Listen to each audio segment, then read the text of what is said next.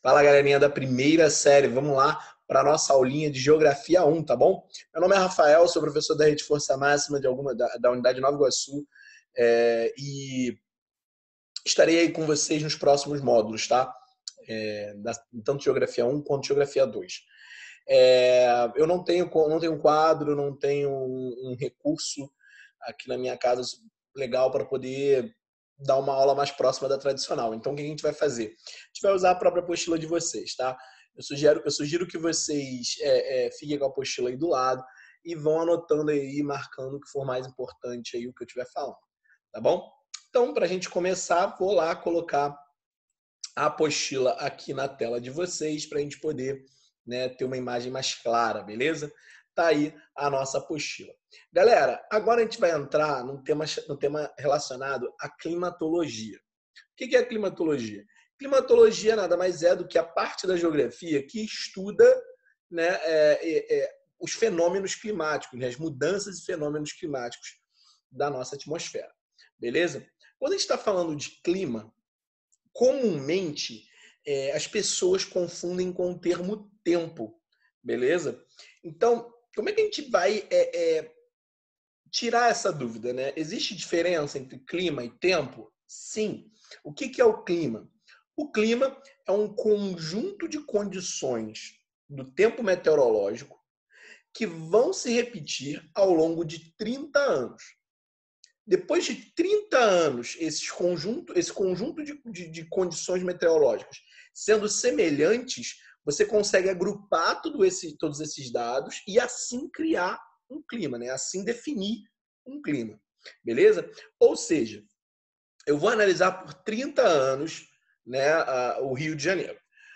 Analisando por 30 anos o, o espaço do Rio de Janeiro, eu vou perceber que é, é, comum que nos meses de início e final do ano, né, dos meses de verão, você tenha uma precipitação elevada e uma temperatura elevada também. E é comum que sempre nos meses do meio do ano, ali correspondente ao outono e ao inverno, você tenha uma temperatura mais baixa e um índice de precipitação menor. Ao longo de 30 anos, eu vejo que essa história se repete todos os anos. Aí sim eu consigo definir alguma coisa e criar, né, e definir ali um clima para a região. Agora, é, quando a gente está falando de tempo meteorológico, a gente está falando de uma condição temporária, a gente está falando de uma condição que ela pode mudar a qualquer momento.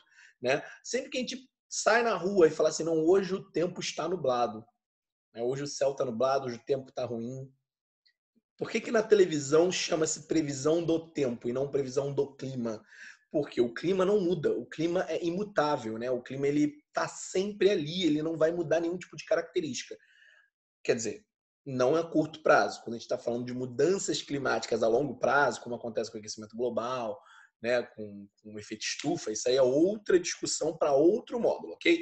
Mas pensando a curto prazo, isso aí não, é, não, não, há, não ocorrem essas mudanças climáticas. Tudo bem? Já o tempo não. O tempo rapidamente ele pode mudar, né? A gente cansa de ver quantas quantas vezes você já não foi para a praia, né? Numa manhã ensolarada, chegou na praia, 40 minutos depois o tempo fechou. Né? O sol foi embora, a nuvem entrou na frente do sol e acabou com essa praia. Isso acontece muito, né? Então, é, é, isso é o tempo. O tempo é uma condição rápida, é uma condição que vai mudar rapidamente, tá bom? É, como é que a gente diferencia isso? Sempre que eu uso clima, sempre que eu uso a palavra clima, eu vou estar usando o verbo é para me referir a algum tipo climático. Então, assim, é, o Brasil é um país tropical. Então, o Brasil é um país onde predominam os climas tropicais. O clima da Amazônia é o clima equatorial.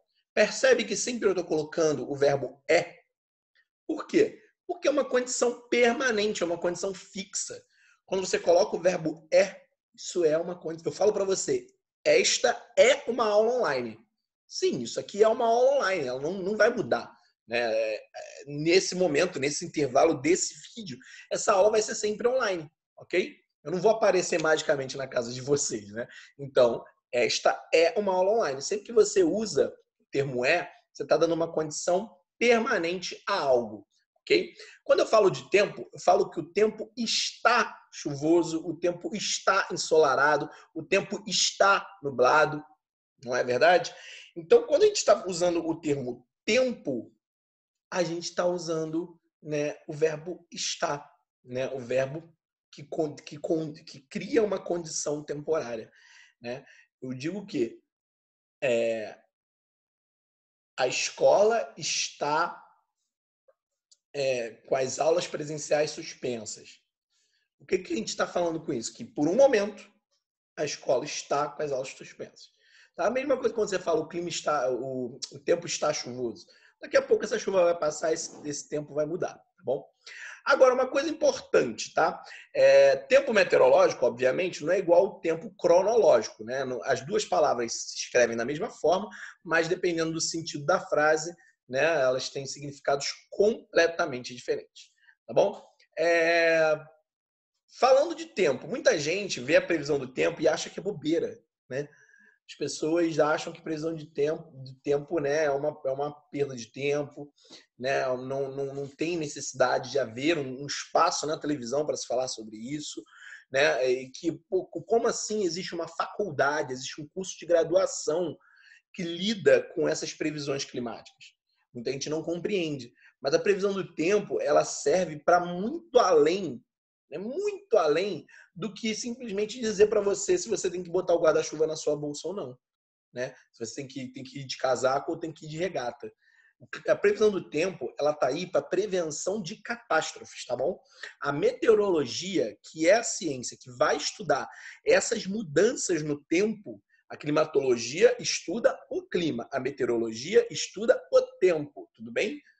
Então, a meteorologia, que é essa ciência que vai estudar isso tudo, ela está aí justamente para evitar que ocorram catástrofes. Cara, atualmente, com a tecnologia que a gente tem de previsão do tempo, vários, várias mortes foram evitadas pelos furacões que aconteceram na América Central alguns anos atrás. Há dois anos atrás teve um furacão que passou por Miami e todo mundo foi avisado com dias de antecedência que ele ia acontecer. Então deu tempo de todo mundo sair das suas casas, deu tempo de todo mundo né, é, é, se prevenir, se precaver. Então, assim, é, é para isso que serve a previsão do tempo, tá? Ah, no Rio de Janeiro, por exemplo, nos meses de verão, é muito comum que ocorra né, essa que ocorra essa, essa previsão para dizer quando que vai chover, qual lugar vai ter enchente, qual não vai. Então, cada, cada país, né, cada região vai ter a sua motivação diferente para a pesquisa né, do tempo, tá? É, muito importante também para navegação, né, para aviação. Todo aeroporto tem uma estação meteorológica, é obrigatório, né, nos aeroportos de grande porte tem que ter uma estação meteorológica para informar as aeronaves quando, se elas podem ou não pousar, qual é a direção do vento, qual é a força do vento, né? Porque a operação tanto de, de embarcações quanto de aeronaves é bem delicada e pode ser influenciada pelas condições do tempo. Né? Então, essa é a importância da previsão do tempo. Tá? Não, não caiam nessa de que é algo é, bobo, fútil ou coisa do tipo. Tá bom? Seguindo em frente, a gente vai falar dos elementos climáticos, tá bom? A gente divide em duas classes, tá? Quando a gente está falando de, de, de, fatores, né? De, de, quando a gente está falando de, de, pontos que vão interferir diretamente no clima, a gente divide entre os elementos e os fatores climáticos. Para explicar melhor isso para vocês, eu sempre uso a teoria do bolinho. Já ouviu falar na teoria do bolinho? Então, quando a gente está fazendo, imagina você vai fazer um bolinho na sua casa, tá? Quando você vai fazer o seu bolinho, o bolinho ele leva ingredientes básicos que todo bolo vai levar. Geralmente é leite, ovo, farinha, açúcar e fermento. Né? Geralmente esses são os itens básicos de um bolinho. Tá bom? Quando a gente está falando de clima, quais são os elementos climáticos? Ou seja, aqueles, aqueles elementos que compõem o clima. Que qualquer clima do mundo vai ter esses elementos. Temperatura, pressão atmosférica e é, umidade, né? Precipitação. Galera, a temperatura do ar, né, vai dizer exatamente se aquela região vai ser mais quente ou vai ser mais fria. Quanto mais quente a região, né, é, maior a tendência dessa região ser úmida. Claro que isso vai depender também da, do, da localidade. Aí entra a questão dos fatores, né, que a gente vai falar daqui a pouco. Mas os elementos climáticos são aqueles que, que estão diretamente ligados né, a, a, que, que estão ligados a esses elementos básicos. A temperatura é um deles. A pressão atmosférica nada mais é do que o peso que o ar vai exercer sobre a Terra. tá bom? Quando a gente fala de pressão atmosférica, a gente está falando daquele processo, né, de que quando as pessoas sobem o Monte Everest, chegam lá em cima e não conseguem respirar direito, né? Isso acontece porque o volume de ar ali naquela parte do planeta que é mais alta é muito pequeno, né? Tem uma quanto maior a altitude, menor a pressão atmosférica, tá bom? Então assim, é, é, quanto menos pressão atmosférica, menor a quantidade de ar que você vai ter para respirar. Aqui no nível do mar, onde a gente está, né, no nível zero, a pressão do ar é muito grande, né? Porque quanto menor a altitude, maior a pressão atmosférica, e aí a quantidade de oxigênio ali em cima é enorme. Então, por isso a gente consegue respirar uma boa aqui no nível do mar, tá bom? Então, e o terceiro item é a umidade, que vai estar relacionada né, à proximidade com o mar, ao número de rios, né, a quantidade de, de reservas hídricas, ou alguma floresta, né, de áreas verdes, enfim. Tudo bem? Então, esses, esses elementos são aqueles elementos do nosso bolinho que não podem faltar. É como uva, farinha, o açúcar, né, o leite e, e o fermento do nosso bolinho. Agora, se você quiser fazer um bolinho um pouco melhor, você vai querer colocar um recheio, uma cobertura, né? Alguma coisa para ele ficar mais gostoso, né? Um granulado, né? Um negocinho. Então, esses, essas coisas que você coloca a mais são os fatores climáticos, que são aqueles, aqueles fatores que nem sempre vão estar presentes em algum clima, né? Eles não estão presentes em todos os climas do planeta, mas que quando eles aparecem, eles podem modificar algo, né? Eles podem modificar né, a, a a dinâmica desse clima, tá bom? Vamos falar de alguns deles, tá? É, a temperatura eu já falei, né? Está relacionada com o nível de exposição solar, se aquela região vai estar tá muito, vai estar tá numa área mais, mais próxima da linha do Equador ou não. A linha do Equador é a área que recebe a maior radiação solar, então as áreas que ficam ali são áreas mais quentes. Os polos são áreas que recebem menor radiação solar, então as áreas que estão ali são áreas mais frias, tá bom?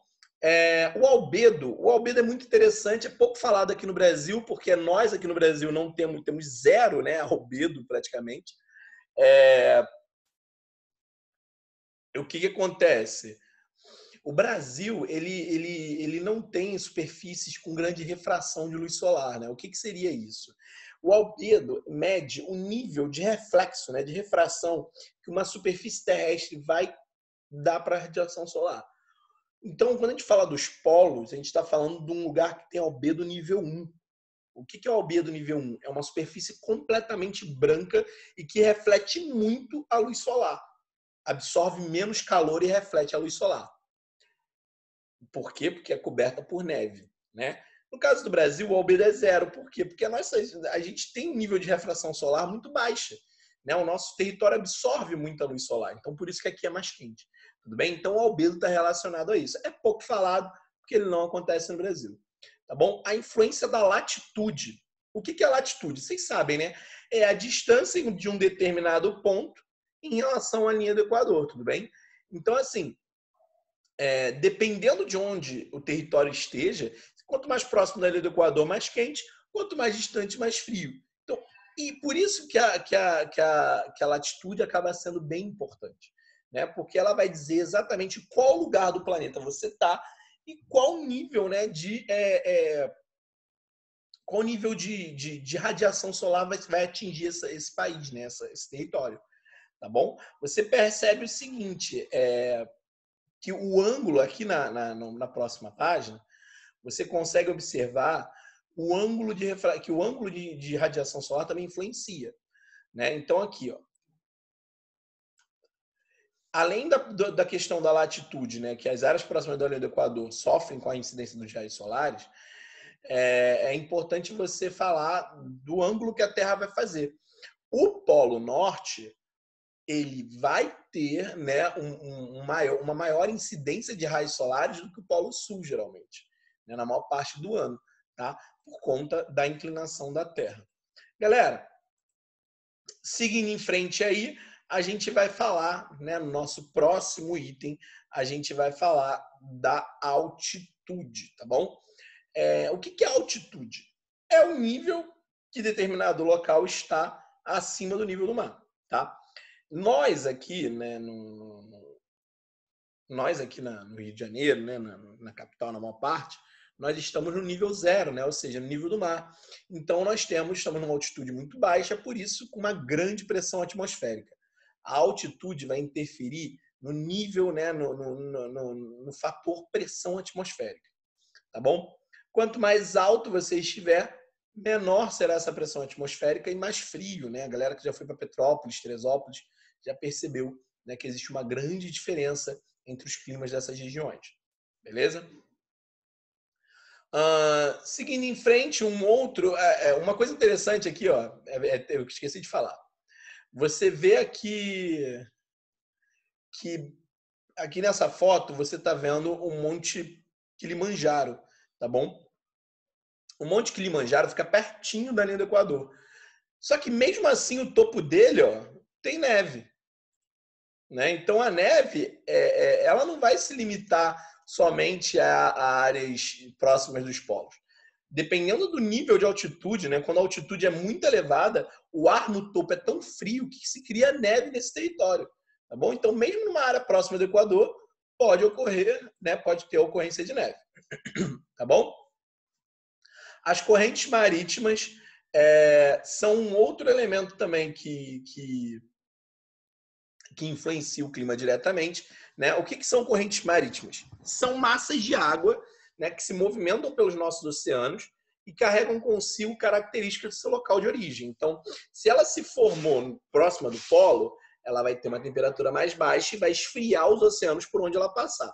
Se ela se formou próxima da linha do Equador, né, ela vai ter o quê?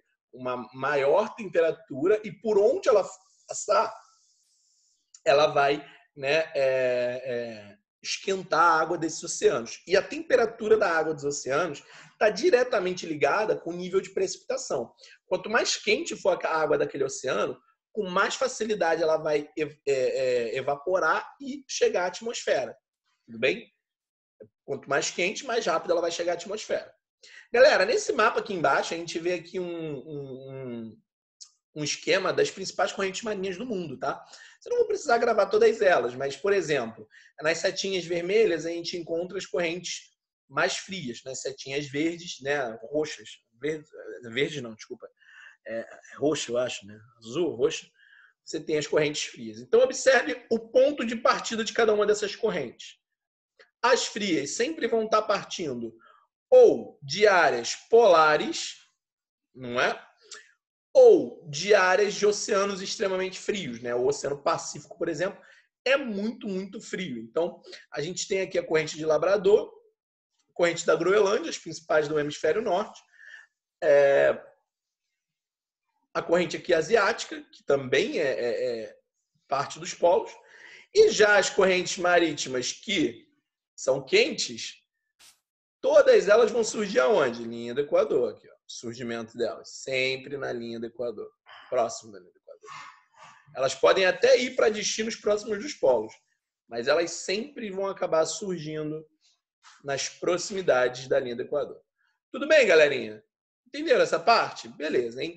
Correntes marítimas são é, as massas de águas que vão se movimentar e vão né, poder ser quentes ou frias, esfriando ou esquentando os oceanos, o que vai facilitar né, a evaporação. Tudo bem?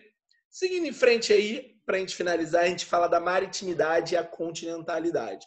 Galera, isso tem a ver com a proximidade de determinado território com o oceano ou com uma bacia hidrográfica, com qualquer fonte de recurso hídrico, tá? Quando a gente fala de que um país possui grande continentalidade, eu estou falando de países que sequer têm contato com o oceano, como, por exemplo, aqui no meio da Ásia. Ok? Essa região aqui que eu marquei em verde, no meio da Ásia, é uma região que possui grande continentalidade. Por quê? Porque ela está muito distante dos oceanos. Agora, se eu falar aqui do Rio de Janeiro, eu falo que tem grande maritimidade. O Brasil, como um todo, é um território que tem grande maritimidade por conta do tamanho da sua fronteira com o oceano. Todo o litoral brasileiro né? Toda, todo, todo, todo, toda a costa brasileira é banhada pelo Oceano Atlântico. Então, por isso, o Brasil tem grande maritimidade. E essa grande maritimidade vai trazer o quê? Né? O que, que ela vai fornecer para a gente? Muita umidade. muita precipitação.